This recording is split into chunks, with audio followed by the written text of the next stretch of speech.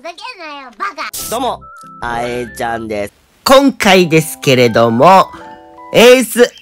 ヤマトが実装確定いたしましたので、最強メダル編成を5戦ということで皆さんに紹介させていただきたいなと思います。まあ、アタッカーとなっておりますので、まあ、アタッカーに合うメダルをね、あの、皆さんに紹介していこうかなと思います。まず一つ目ですが、もう、ルフィくんの3点セットですね。まあ、ルフィくん、正直、まあ、何でもいいと言いたいんですけども、まあ、個人的にはルフィの3点セットがまずおすすめかなと思います。ルフィくん自体がかなり今数がいますので、合わせるのめちゃめちゃやりやすいのかなと思いますね。個人的にはルフィで合わせるのであれば、最近来てる和の国のキャラクターと合わせるのがいいのかなと思いますね。ここら辺の和の国のキャラクターを見ていきますと、めちゃめちゃ強いメダルがたくさんありますよね。得意属性に敵に攻撃先を当たるために5%増加するとか、固有特性がまず優秀なルフィがめちゃめちゃ多い点。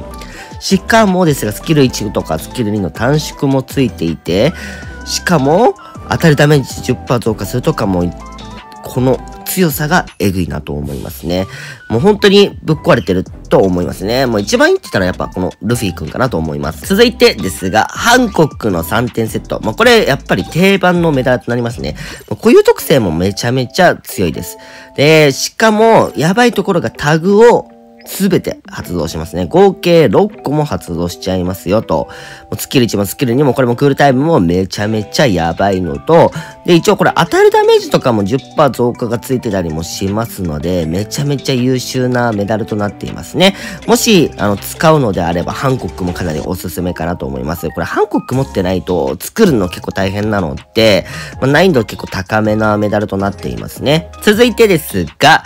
街道街道キングメダル。もうこれのめちゃめちゃ優秀なところ。この二人のメダルですね。まず一人目、火災メダルが敵から攻撃受けるたんびにスキル値のクルタイム2%短縮する。この街道も一緒ですね。100%の確率でスキル1のクルタイムが2%短縮するっていうことで、まあ、2枚つけることによって敵からダメージをガンガン受けることによって、もうスキル1の無敵スキルがガンガン回すことができてしまうので、もう本当に無敵をガンガン回したいメダルにとって本当にいいメダルかなと思いますね。しかも、タグもめちゃめちゃ発動します。まあ、2セット効果ばっかりなんですけども、まあ、3セットのやつは3つぐらいですね。まあ、スケージスキルにはクルタイムが20%増加するもついてるので十分かなと正直思っています。このメダルもかなりおすすめかなと思います。続いてですけれども、オリン3点セットですね。まあ、これもやばいの。まずタグ。えぐいっすからね。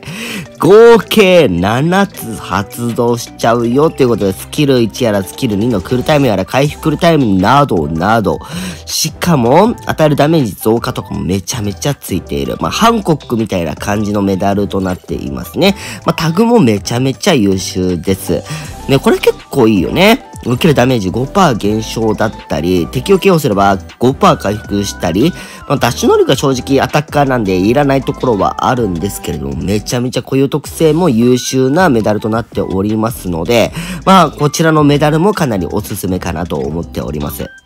最後になりますが、カイドウの3点セットですね。まあ、こちらもめちゃめちゃタグが発動いたしますと、合計6個も発動いたしますし、まあ、これもね、ハコックとか、あの、ビッグマムと似たところもありますし、で何が強いか、まあ、まずこれ当たるダメージが5%増加するですね。まあ、自分チームのお宝エリアにいるときですね。で、もう一つがこれ、スキル1のクータイム、さっきもお話ししたんですが、これもめちゃめちゃ強い。で、最後、カイドウ。敵を KO すればスキル値のクルタイムが8%短縮できますので、めちゃめちゃおすすめなメダルとなっております。まあ、多分さっきの火災メダルよりもこっちの方が正直作りやすいのかなと思いますね。まあ、カイド揃ってる方はこのメダルを作った方がいいかなと思います。また1月1日の12時になりましたら、あのメダルについて紹介していこうかなと思いますので、その時はまた楽しみにしてもらえればなと思います。またな